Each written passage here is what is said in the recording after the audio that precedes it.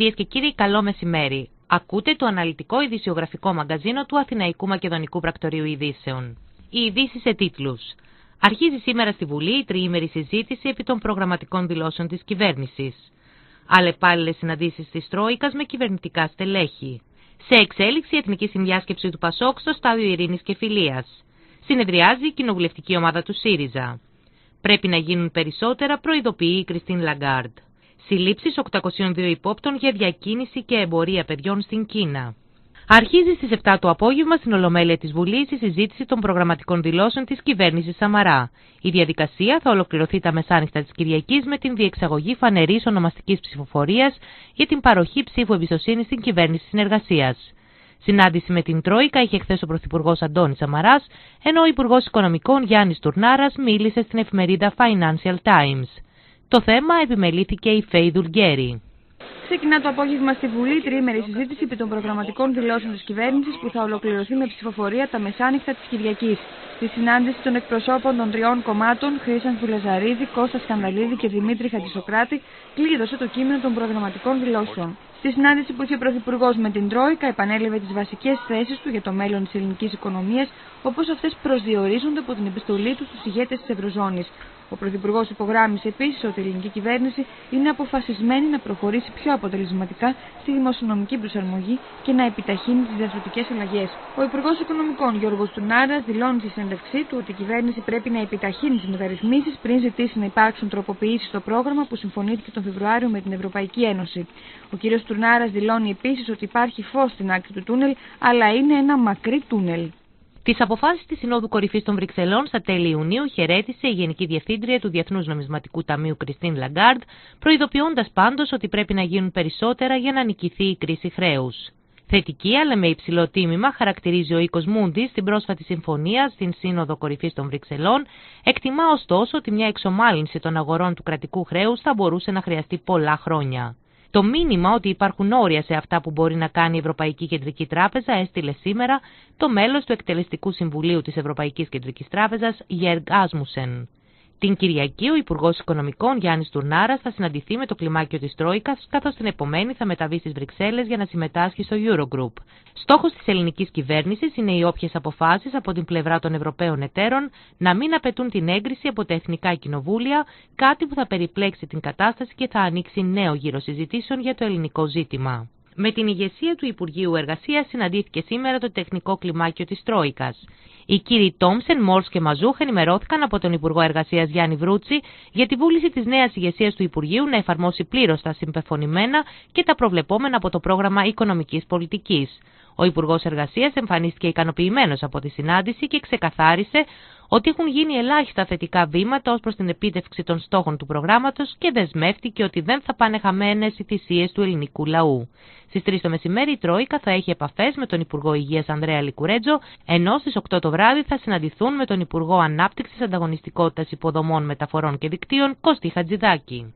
Σε εξέλιξη βρίσκεται στο στάδιο ειρήνης και φιλίας η Εθνική Συνδιάσκεψη του Πασόκ για το συντακτικό συνέδριο του κόμματος στο φθινόπωρο. Ο Ευάγγελος Βενιζέλος ανέφερε ότι ξεκινάει η ανασύσταση του κινήματος και η ανασυγκρότηση της Δημοκρατικής Παράταξης. Είμαστε περήφανοι για το όνομα και τα σύμβολά μας και μπορούμε να τους δώσουμε επίκαιρο νόημα, υπογράμμισε και κάλεσε τα στελέχη και τα μέλη του Πασόκ να προχωρήσουν την ανασυγκρότηση της παράταξης με όρους αυτοοργάνωσης. Σε υψηλούς τόνους επέκρινε όσους έβλαψαν την παράταξη όσο ήταν το Πασόκ στην κυβέρνηση και τόνισε ότι δεν θα επιτρέψει να τη βλάψουν και τώρα.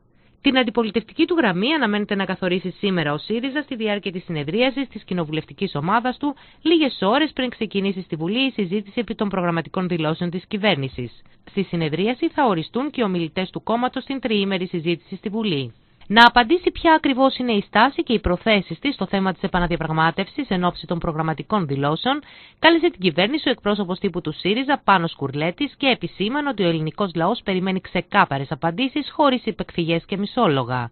Παράλληλα, ερωτά τον κύριο Σαμαρά αν συμμερίζεται και υιοθετεί τις απόψεις του Υπουργού Οικονομικών κ. Στουρνάρα, όπως αυτές διατυπώθηκαν στις χθεσινές του δηλώσεις προς την εφημερίδα Financial Times, ότι η Ελλάδα παρετείται από το αίτημά της για επαναδιαπραγμάτευση.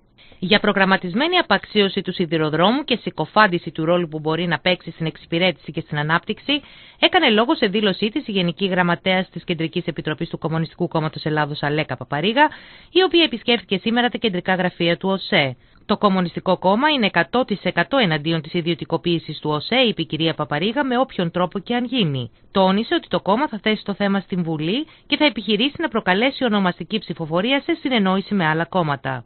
Την πρόθεσή του να μην θέσει υποψηφιότητα για γραμματέας της Νέας Δημοκρατίας ανακοίνωσε ο Βασίλης Κικίλιας.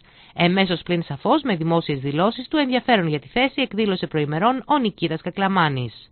Δεκτές θα γίνονται από τα φαρμακεία οι συνταγές οι οποίες είχαν εκδοθεί κατά το χρονικό διάστημα των κινητοποιήσεων των φαρμακοποιών και για τις οποίες έχει παρέλθει το εκ νόμου οριζόμενο πενθήμερο με χειρόγραφη διόρθωση της ημερομηνίας. Παρατείνεται έως τις 16 Ιουλίου η προθεσμία για την υποβολή των αιτήσεων υπαγωγής σε καθεστώς ευνοϊκής ρύθμισης οφειλών στο ΙΚΑ. Κύμα κάψωνα μέχρι τα τέλη της επόμενης εβδομάδας προβλέπει έμι λόγω και της εξασθένηση των ανέμων σε όλα τα πελάγη. Το θερμόμετρο θα αγγίζει ενδεχομένως και θα ξεπεράσει τους 40 βαθμούς Κελσίου. Αποκαθίστανται πλήρως από την Κυριακή τα δρομολόγια του προαστιακού σιδηροδρόμου που είχαν τροποποιηθεί λόγω εργασιών στη γραμμή μεταξύ των σταθμών Άνω Λιώσια Αεροδρόμιο. Επίσης, τίθεται στη διάθεση του επιβατικού κοινού η στάση ζευγολατιών νομού Κορινθίας. Τρεις άγνωστοι πέταξαν χειροβομβίδα κατά αστυνομικών και πυροβόλησαν εναντίον τους με πιστόλι τα ξημερώματα στο νέο κόσμο. Από την έκρηξη δεν υπήρξαν τραυματισμοί, αλλά προκλήθηκαν ζημιές σε τέσσερα σταθμευμένα οχήματα. Με την κορυφαία τραγωδία του Σοφοκλή, η Δίποδα Στήρανος ανοίγει απόψε το φετινό πρόγραμμα της Επιδαύρου με το δίδυμο Εμίλιος Χιλάκης Κωνσταντίνος Μαρκουλάκης επισκηνής σε μια παράσταση έκπληξη που αποτελείται αποκλειστικά από άνδρες. Εξωτερικές ειδήσεις.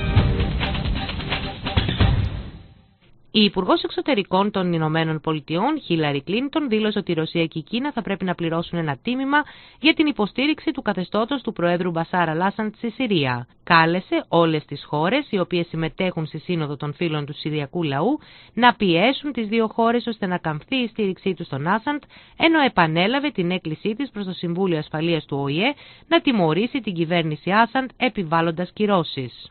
Η μείωση των επιτοκίων που ανακοίνωσε χθες η Ευρωπαϊκή Κεντρική Τράπεζα, καθώς και η μείωση των επιτοκίων από την Κεντρική Τράπεζα της Κίνας και η χαλάρωση της νομισματικής πολιτικής από την Τράπεζα της Αγγλίας, δεν εντυπωσίασε τους επενδυτές, με αποτέλεσμα οι αποδόσεις των Ισπανικών ομολόγων να εκτοξευθούν σε πολύ υψηλά επίπεδα και τα ευρωπαϊκά χρηματιστήρια να υποχωρήσουν.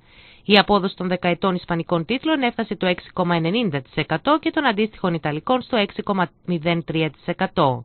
Την περικοπή 4,5 δισεκατομμυρίων ευρώ από τις δημόσιες δαπάνες ενέκρινε μετά από μαραθώνια συνεδρίασή του το Υπουργικό Συμβούλιο στην Ιταλία.